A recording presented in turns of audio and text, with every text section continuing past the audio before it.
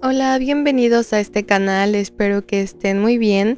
El día de hoy les traigo 8 manualidades súper fáciles y con materiales que probablemente ya tienen en casa para decorar y personalizar sus útiles escolares.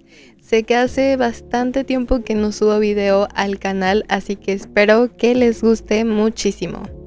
Antes de comenzar con el video solamente me gustaría informarles que tengo un canal secundario donde subo videos personales, blogs de belleza, de motivación. Les dejaré el link en la caja de descripción por si quieren ir a verlo. Vamos a comenzar con la primera manualidad. Vamos a necesitar hojas blancas, yo utilicé 15 hojas, una engrapadora, y una hoja gruesa yo utilicé de este blog que es como para pintar. También pueden utilizar cartulina u hojas de opalina. Comenzaremos doblando todas nuestras hojas por la mitad. Pueden apoyarse de una regla para que queden bien plegadas.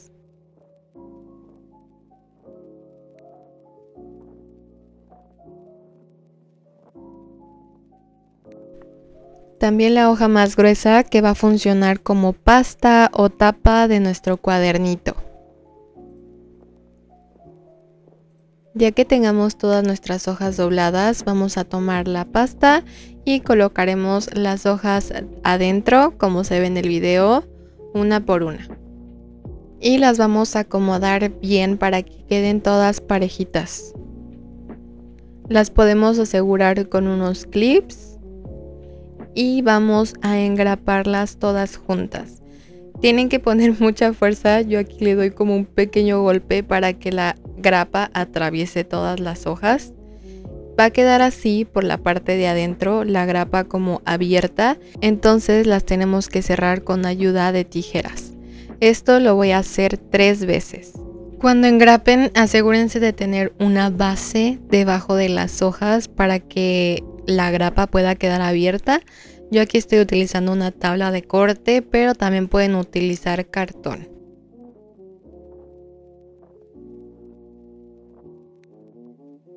Quitamos los clips. Por último vamos a cortar el exceso de papel que queden en las esquinas con ayuda de una regla y cúter.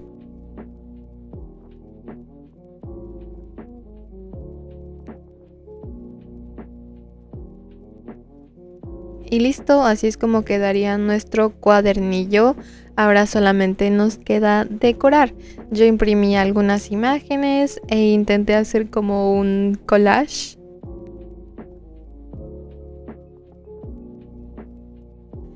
Y por último, para darle un toque extra, decidí ponerle un poquito de encaje.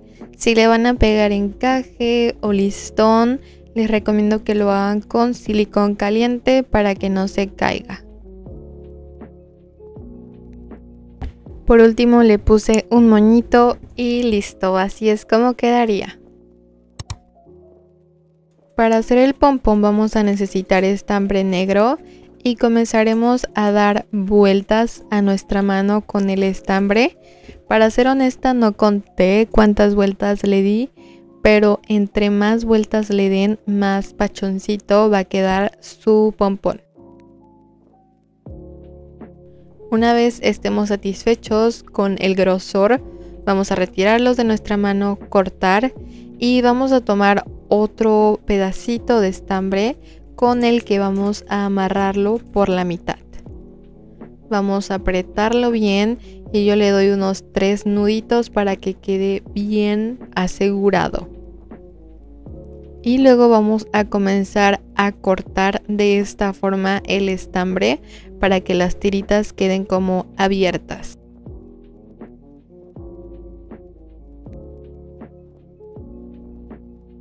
Esto lo vamos a hacer de ambos lados.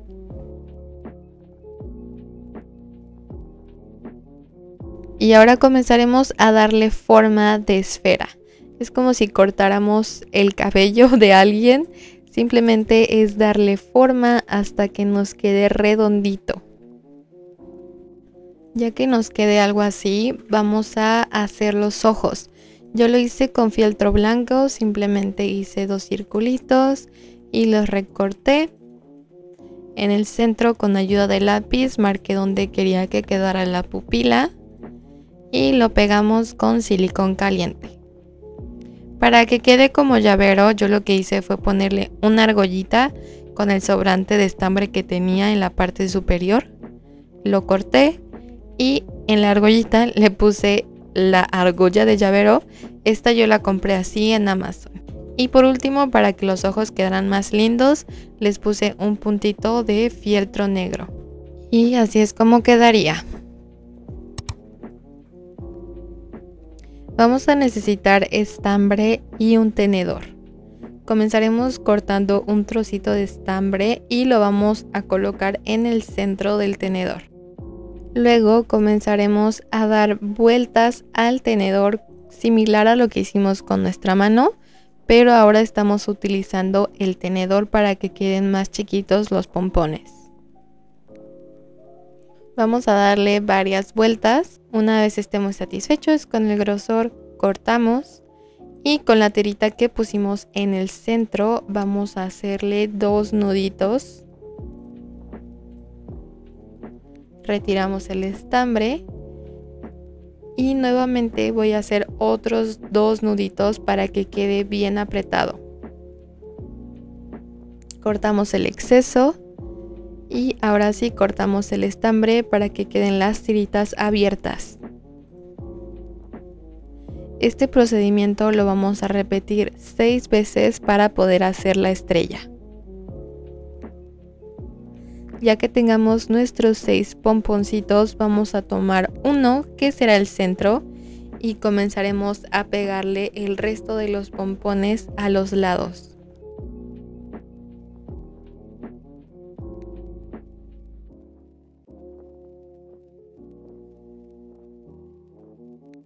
Ya que tengamos todos los pompones unidos, va a parecer como una florecita, pero poco a poco cortando vamos a darle forma de estrella.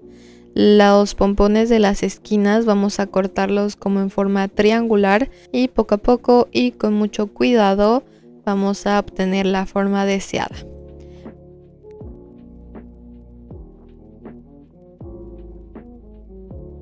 Ahora vamos a colocar la argolla. Solamente a uno de los pompones le vamos a dejar la tirita con la que amarramos el estambre para poder colocar la argolla. A los demás recuerden que tenemos que cortarle el sobrante.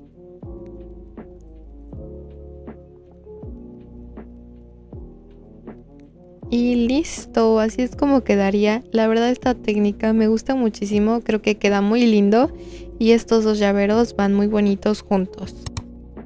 Vamos a necesitar una cajita de metal, puede ser de mentas, imágenes, stickers, cualquier cosa que tengan para decorar. Para hacerle fondo a nuestra cajita vamos a trazarla sobre una hoja decorada, la que ustedes quieran, y vamos a recortarlo. Esto es para que quede justo a la medida. También recorté las imágenes que quería utilizar.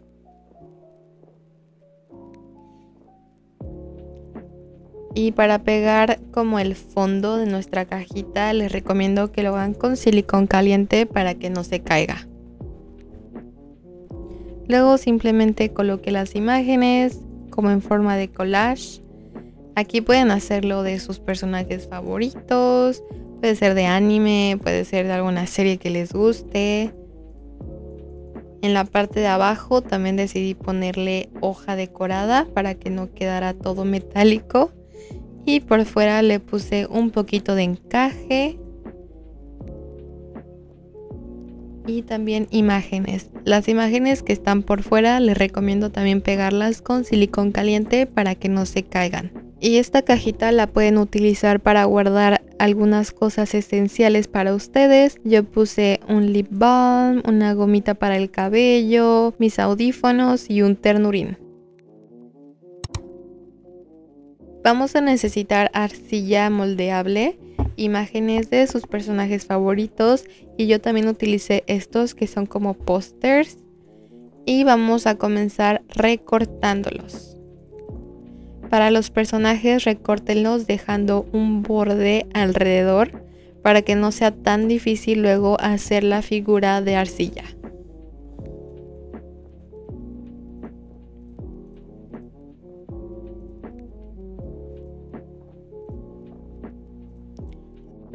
Ahora vamos a tomar nuestra arcilla moldeable y con ayuda de un rodillo o de un vaso vamos a aplanar nuestra masita. Yo dejé la masa de un grosor como de 2 a 3 milímetros.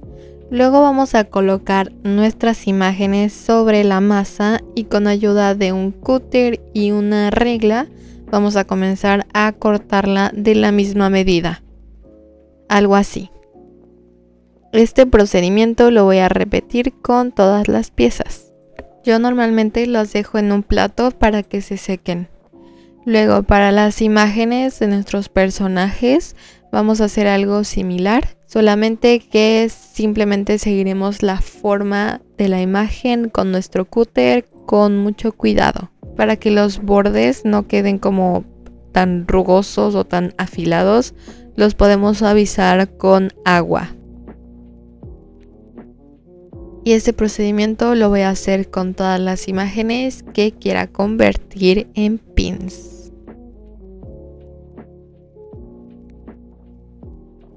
Ya que terminamos vamos a dejar secar las piezas, las mías tardaron un día en secar por completo. Luego podemos limar o lijar las orillas para que queden más suavecitas y más lindas. Yo lo hice con una lima para uñas. Ahora yo coloqué las imágenes sobre las piezas para saber cuál es la parte de enfrente y cuál es la parte de atrás. Y por la parte de atrás poder pegar los seguritos con silicón caliente. Yo en este caso solamente tenía estos seguritos que son para ropa. Pero también les recomiendo que si consiguen este tipo de seguritos los utilicen. Ahora con pegamento yo utilicé Mod Punch pero pueden utilizar pegamento blanco vamos a pegar las imágenes. Y yo les recomiendo que les den una capa de pegamento sobre la imagen también para que quede un poquito más asegurada. Voy a repetir este procedimiento con todas las piezas.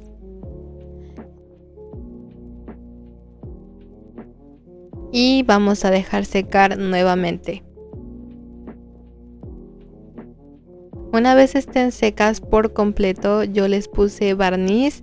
Este barniz normalmente lo ocupo para las piezas de arcilla, también funciona en papel, pero igual pueden utilizar barniz para uñas transparente. Y así es como quedarían. Mis favoritos son los que tienen forma como de póster. Siento que se ven muy bonitos. Y los pueden utilizar para decorar su mochila o su lapicera. Vamos a necesitar cinta transparente, imágenes y agua. Vamos a comenzar colocando un poquito de nuestra cinta sobre la mesa, esto para que no se mueva. Luego colocaremos nuestras imágenes en la cinta Asegúrense de que las imágenes sean del mismo tamaño, que no queden más grandes, porque por ejemplo esta que yo imprimí era bastante grande, así que no la pude colocar dentro de la cinta. Y luego vamos a cortar las imágenes, cortamos el restante.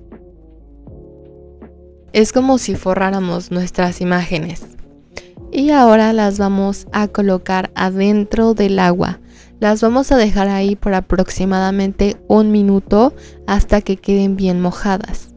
Una vez pasado el minuto vamos a comenzar como a pelar nuestra imagen. Vamos a retirar el papel y se van a dar cuenta que lo único que se va a caer es el papel blanco y como que la tinta se queda pegada a la cinta. Vamos a dejar secar nuestro sticker para que así regrese como el pegamento de la cinta. Una vez pasados unos 5 minutos podemos colocar nuestros stickers en donde queramos. Yo decidí colocarlos sobre esta botella transparente y la verdad me gustó mucho el resultado. Es súper fácil y pueden hacer tantos stickers como ustedes quieran. Vamos a necesitar llaveritos en forma de corazón. Estos yo los conseguí en Shane y podemos ponerle imágenes adentro. imágenes y stickers. Vamos a comenzar colocando el corazón sobre la imagen que hayamos elegido para así saber en dónde cortar.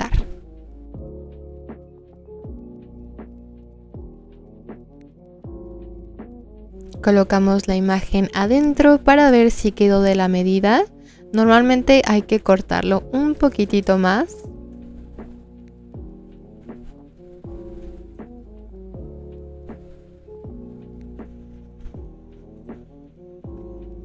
Y listo, así es como quedaría nuestro llaverito.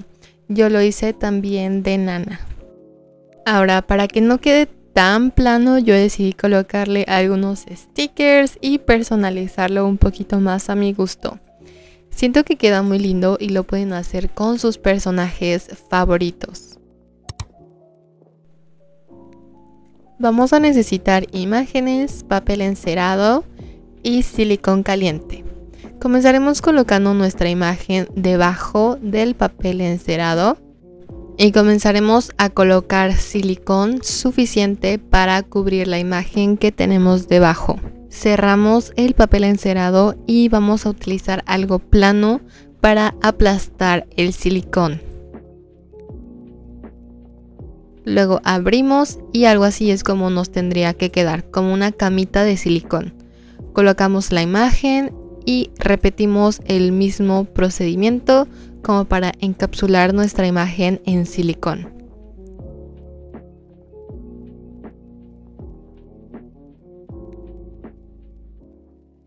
Algo así es como nos quedaría nuestra imagen encapsulada. Luego vamos a recortar el exceso de silicón y vamos a ponerle barniz transparente. Ahora yo les voy a dar dos opciones para que puedan colgar este mini llaverito. La primera es utilizar hilo y aguja. Vamos a atravesar nuestra imagen con una aguja. Yo puse una gomita en la parte de abajo para que sea más fácil. Cortamos y hacemos unos nuditos cortamos el exceso y listo. La segunda opción es colocarle varias argollitas. Y al final yo puse este ganchito que normalmente se utiliza como para pulseras o collares.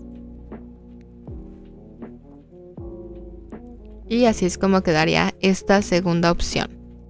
Así es como yo normalmente los pongo en mi carpeta